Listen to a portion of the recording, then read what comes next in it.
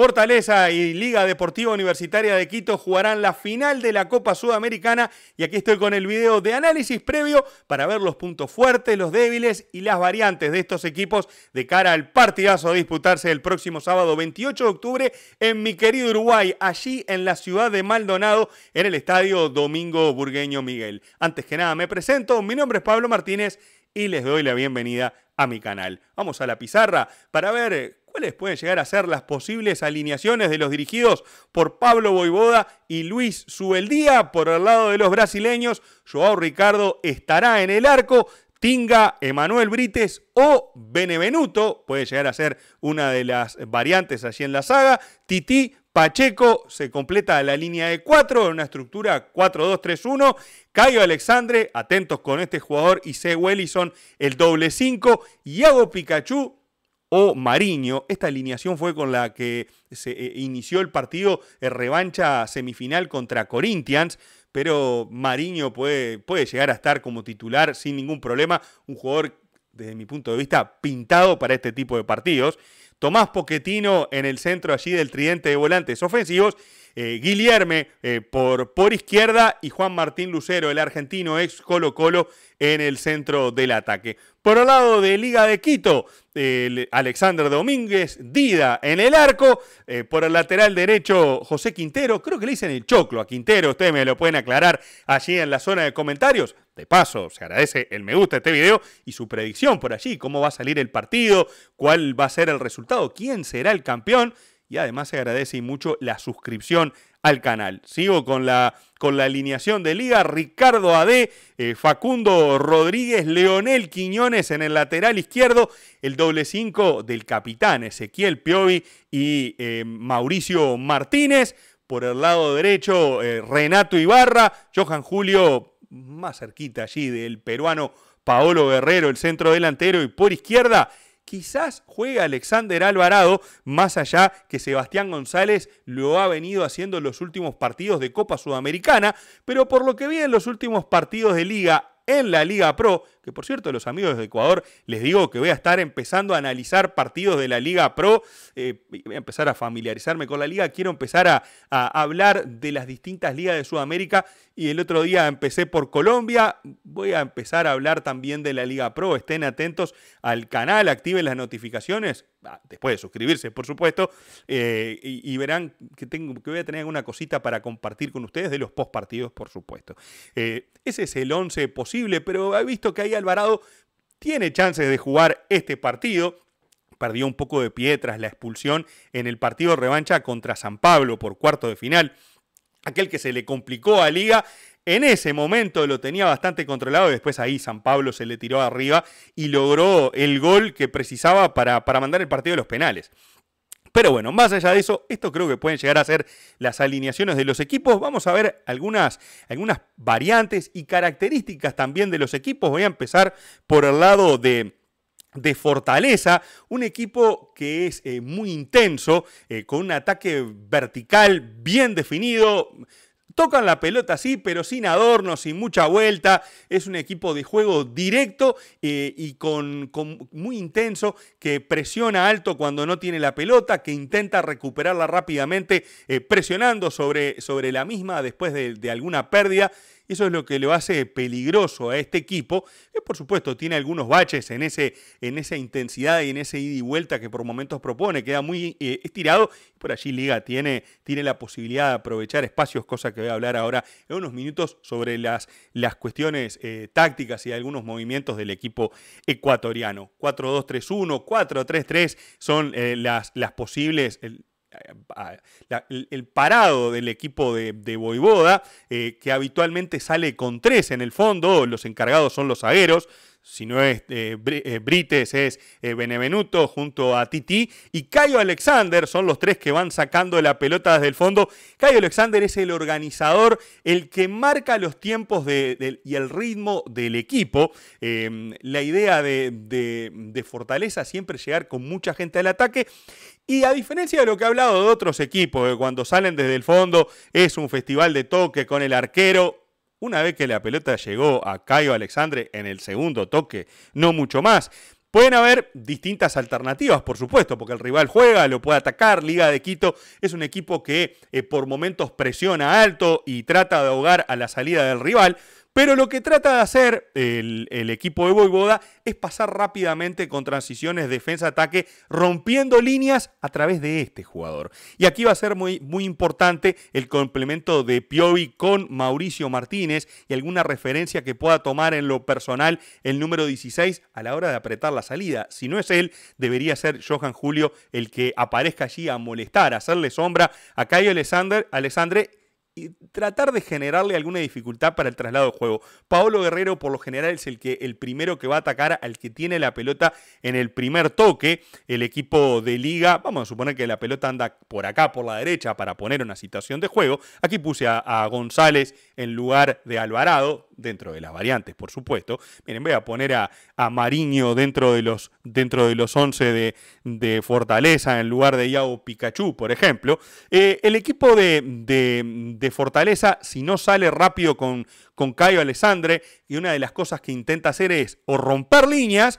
tratando de encontrar a Poquetino, que siempre se ofrece como opción de pase, o ir directo con Lucero o Mariño con algún pelotazo cruzado, es poder cambiar eh, el juego eh, con Guillerme o con Pacheco rápidamente a un equipo que lo tenés contra un costado, eh, le volcás, que haces que el rival se vaya contra un sector de la cancha, inmediatamente los de Pablo Boivoda intentan cambiar el sentido, la orientación de juego rápido para sorprender al rival y encontrar espacios para irse directo al ataque. Como les decía, el equipo brasileño este no tiene adornos, no toca la pelota innecesariamente por momentos es demasiado intenso, se pasan de rosca de intensos y empiezan a aparecer estos baches en la mitad de la cancha que pueden llegar a ser muy bien aprovechados por los futbolistas de Liga de Quito, pero a veces plantea situaciones de casi jugar mano a mano contra, contra la saga rival porque el ritmo que le impone a veces no te da tiempo a recomponer y eso es lo que tiene que estar muy atento el equipo de liga, mantenerse siempre corto, en, especial en momentos del partido ese donde tenés que recuperar el aire y ya la presión alta no se hace, cuando no se hace efectiva, replegar líneas, tratar de ser corto y evitar que este equipo te sorprenda. Que tiene variantes también a este juego vertical, no solamente saliendo con pases eh, bajos, rasos, fuertes a, sus, a sus volantes, en este caso puede ser Wellison, por ejemplo, que también se muestra como opción de salida de ataque como los laterales, sino que muchas veces eh, vamos a encontrar al zaguero o a mismo a Caio Alexandre por este lado, eh, buscando las subidas de Tinga, el lateral derecho, el número 2. Los dos laterales son muy subidores del equipo eh, brasileño y muchas veces tiran la pelota cruzada. Tinga es un lateral que tiene físico de zaguero y que es muy propenso a, bajar pelotas, a, recuperarla desde ahí o a, generar segundas jugadas desde un pase largo que pueda venir cruzado después de de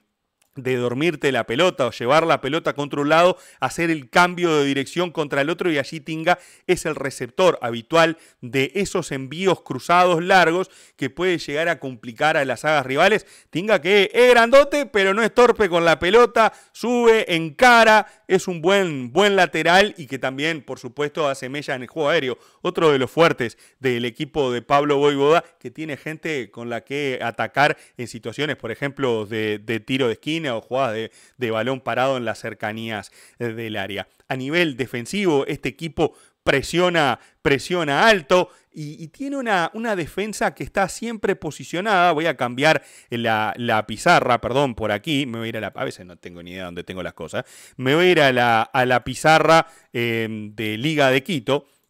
A veces el equipo de, de, de, eh, tiene un parado defensivo muy alto y arriesga mucho a cortar pases. Eso a veces lo expone a situaciones de, bueno, no llegaste a ese pase y dejaste regalado a los compañeros de atrás y se generan muchos espacios a las espaldas de una saga que por un momento juega eh, casi sobre la mitad de la cancha en, esa, en ese juego intenso y vertical que ha propuesto Pablo Boivoda que hace ya como dos años que está en Fortaleza le había ido eh, por momentos eh, mal en el equipo, había tenido ofertas de equipos grandes del fútbol brasileño y Boivoda prefirió quedarse aquí, le bancaron el proyecto, son clubes estos como Fortaleza que bancan los procesos de los entrenadores porque tampoco tienen la obligación inmediata de ganar a nivel, por ejemplo, de Brasileirao y consiguen mejor funcionamiento. Eso que a veces se le complica a los equipos grandes. ¿Cómo puede pasarle a Liga de Quito? He escuchado muchas críticas a su beldía eh, por, por su juego, por sus formas, que a veces, bueno,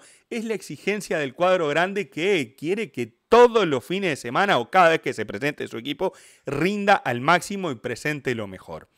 Por el lado de Liga de Quito, les decía, eh, tiene, un juego muy particular, en especial creo que ha resuelto la posición de Paolo Guerrero y cómo abastecerlo. Y eso es un problema para los, los zagueros o para las defensas rivales, porque Pablo Guerrero en los últimos partidos, y fue muy notorio en los partidos con Defensa y Justicia en las semifinales, contra San Pablo, Paolo había quedado absorbido por los zagueros centrales, em, no, tenía la ayuda de sus compañeros, a veces que ni siquiera eh, sabían cómo abastecerlo, repitiéndose en centros. Y ha resuelto ese problema el equipo de, Liga de Quito, haciendo que Paolo Guerrero simplemente salga de esa zona de influencia, juegue casi como un volante armador por momentos, no es que lo haga, sino que sale de la zona de zagueros para dejar el espacio libre para la caída de Johan Julio, para la caída de Seba González o de Alexander Alvarado o de Renato Ibarra, dependiendo de la situación. Johan Julio es el que habitualmente está allí cerquita de Paolo Guerrero, que eh, va a pelear esos envíos aéreos, a veces que, recibe para, para, jugar de pivot, no contra zagueros, sino contra un volante central de menor porte físico, eh, que quizás se le pueda complicar más eh, el trabajo contra el centro delantero peruano, que ha encontrado ese lugar en la cancha de esos de jugadores que tienen más experiencia, que ven mejor el juego. Y en esa química que he visto entre Subeldía, Guerrero, jugadores que encuentran su lugar en el mundo a veces, eh, Paolo Guerrero eh, que quizás no había, no había rendido lo esperado en Racing de Avellaneda, pero cuando pasó a Liga de Quito, y hablo exclusivamente de lo que lo he visto en Copa Sudamericana, uno ve un jugador que se siente cómodo jugando ahí. Quizás uno puede esperar más goles de Paolo Guerrero, otro tipo de rendimiento, o el Paolo Guerrero de no sé hace 10 años atrás, aquel que jugaba en el fútbol de Alemania,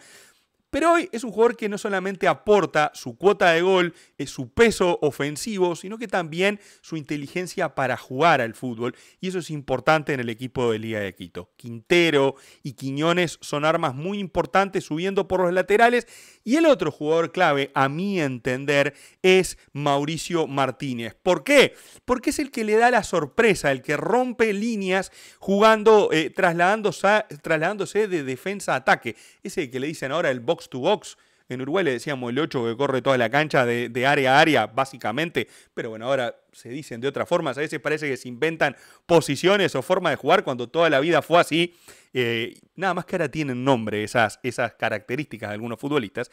Pero Martínez es ese jugador que va de área a área, que recorre toda la cancha que asiste a Piovi, que es muy importante en el balance defensivo. Hizo un golazo contra Defensa y Justicia, que creo que remató la serie en Quito eh, eh, con aquel tercer gol cuando Defensa se iba por el descuento y terminó de liquidar una serie que fue eh, casi resuelta a Buenos Aires. Y es allí donde Liga tiene la, peligrosidad de sus laterales, las subidas de Martínez, el, juego de Johan Julio, su velocidad, su uno contra uno, el, juego también de González Ibarra, no solamente ofensivo, sino importante a la hora del repliegue. Muchas veces el equipo de, Liga queda con Martínez, a veces de cinco, Ibarra y Piovi en la mitad de la cancha, los zagueros... Eh, apretaditos en única, tratando de hacer el bloque bien corto, y Julio, Guerrero y González o Alvarado son los que se encargan de la presión de la salida al rival, armando una especie de 4-3-3,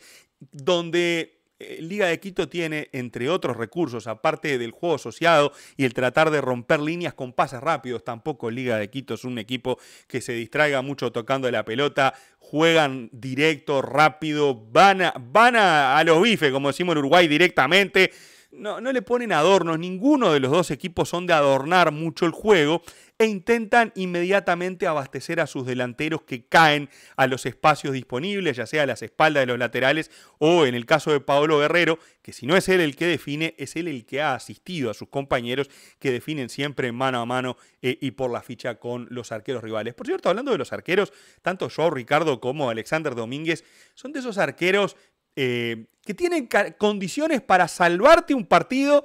y también para decir, ay muchacho, ¿qué es lo que acabas de hacer? Son de esos que a mí, por lo pronto, no me generan el 100% de confianza. Vaya que son arqueros que tienen trayectoria, en especial el que más conozco es a Domínguez, pero que me da, siempre me deja esa espinita de Domínguez eh, puede hacerte el partido del año o te puede dejar de a pie en este tipo de juegos, por lo general, de estos de alta tensión, es un arquero con mucha experiencia que termina resolviendo bien los partidos. Pero siempre tengo ese, esa espina, es un arquero que no me termina de convencer al 100%. Ustedes me lo dirán allí en la zona de comentarios. Más allá de las, de las valoraciones que uno puede tener por Domínguez, simplemente eh, un, comentario que no es ni, en detrimento del jugador, simplemente para, para marcar una similitud con Joao Ricardo, que también es un arquero que te puede hacer atajadas espectaculares, un arquero ágil, que cierra muy bien el arco y por un momento decís, sí, ¿por qué saliste a descolgar ese centro así? ¿O por qué dejaste ese rebote en un lugar inconveniente? Tienen esas cositas que no terminan de cuajar o de hacerlos arqueros 100% confiables, aunque insisto, tienen también la característica de arqueros salvapartidos. Entonces, por eso eh, sus compañeros juegan tranquilos porque saben que eh, pueden resolver situaciones difíciles también y atajar esas, eh, esas pelotas que terminan siendo recordadas al final de los campeonatos, como esa que quizás te dio el pasaje en la final o, por ejemplo, levantar la Copa Sudamericana. Los dos, como les decía, tienen características de ir al frente tienen también sus baches defensivos, muchas veces en el caso de Liga a espaldas de los laterales, donde va a ser zona fértil para Iago Pikachu y Guillerme por izquierda. Eh, también a veces eh, tienen algunas dificultades para soportar el juego aéreo, en especial en jugadas de balón parado, porque más allá del buen juego aéreo de Ricardo Ade, de Facundo Rodríguez y lo que puede aportar Paolo Guerrero, el resto del equipo eh, no, no, es un equipo de gran talla y que resuelve a veces las, las situaciones eh, o con alguna zona eh, combinada marcando al hombre o con, o con, la presencia de Domínguez dominando en el área a la hora de ir a cortar un centro. Y en el caso ahí de, de Fortaleza, es uno de sus puntos fuertes, el juego aéreo, y ahí es donde puede llegar a ser un, desequilibrio. Desequilibrio que Liga puede llegar a ser también eh, aprovechándose de la intensidad y el tipo de juego directo de los de Voivoda que por momentos se van de viaje intergaláctico y piensan que el único arco en donde se juega es en el de Alexander Domínguez y por aquí en la mitad de la cancha quedan unos huecos increíbles que son zonas de oportunidad para el despliegue de Martínez, para el, cuando Ibarra se recuesta hacia el centro y se asocia con Julio, poder habilitar a Guerrero y tener situaciones de esas como tuvo ante Defensa y Justicia, casi de mano a mano con los zagueros rivales y un arma también importante que tiene Liga de Quito, que es el tiro de media y larga distancia que puede aprovechar allí en el campus de Maldonado. Para mí esto será un partidazo, no me quiero lavar las manos y decirles de final incierto, sí lo es, yo quiero que gane Liga de Quito, vamos a entendernos, y por un motivo muy sencillo, estoy cansado de ver a los equipos brasileños ganar el año pasado Independiente del Valle, bueno, cortó un poco con esa monotonía de equipos brasileños ganando. La Copa Sudamericana es quizás la oportunidad para equipos, eh, en este caso de Ecuador, que son los que han aprovechado más la volada para estar definiendo a lo largo de, esta competencia en estos últimos años y estar ahí en la conversación. Podría llegar a meter Ecuador un, dos eh, eh, sudamericanas consecutivas el año pasado Independiente del Valle, este año Liga de Quito y consolidarse allí como los equipos que que compiten de verdad en la Copa Sudamericana y que siempre llegan con chances de ganarla. Reitero, para mí, yo quiero que gane Liga de Quito, eh, no solamente por, por, por el hecho de, la, de, que no quiero que gane brasileño, porque también tiene con qué y, fortaleza. La verdad, a mí no me provoca nada fortaleza y querer que gane o que no gane, la verdad me da lo mismo. Pero eh, prefiero que Paolo Guerrero, por ejemplo, pueda levantar la Copa Sudamericana. Estuve viendo en entrevista a Piovi, este muchacho que viene desde las, eh, desde las profundidades del fútbol argentino y que también otro que encontró su lugar en el mundo en Liga de Quito Que le habrá costado, por supuesto, afianzarse en el equipo. Es de los que más tiempo está eh, este, en este plantel y que realmente me cayó muy bien, el capitán de, liga, un tipo muy centrado, inteligente, eh, que, que, tiene hasta la posibilidad de, estar a poco de recibirse de kinesiólogo, no cambia nada, no lo hace mejor jugador, pero son de esos tipos que decís, eh, tienen algo más que solamente jugar al fútbol, son tipos que seguramente aporten y mucho al plantel y que en definitiva son de esos que querés que le termine yendo bien. Por eso y muchas otras cosas más, yo quiero que gane Liga de Quito, por más que creo que esta final va a ser este, bien cerrada, parejo de resultado incierto. Cerrada en el sentido de la amplitud de los goles entre uno y otro equipo, pero a juzgar por las características de ambos, eh, de, ambos entrenadores, de sus propuestas y de los jugadores que seguramente jugarán este partido, eh, Ojalá se maten a goles y nos den un espectáculo precioso allí en el campus eh, de Maldonado. Si llegaron hasta acá en el video, me dicen, eh, por ejemplo, Pablo, llegué hasta el final, te mando un saludo y para mí el campeón va a ser, y completan ustedes la frase, se agradece mucho el tiempo que, bueno, que dispusieron para poder ver este video. Espero que les haya gustado. Si es así, le dejan el dedito para arriba la suscripción al canal, se agradece también sus comentarios y nos estaremos viendo en el post partido, ese que esperemos que Liga de Quito levante su segunda Copa Sudamericana y si no es así, también estaré aquí analizando el partido eh, que definirá al primer campeón de los torneos Conmebol del año. Un abrazo grande y nos vemos en próximos videos. Chao, chao.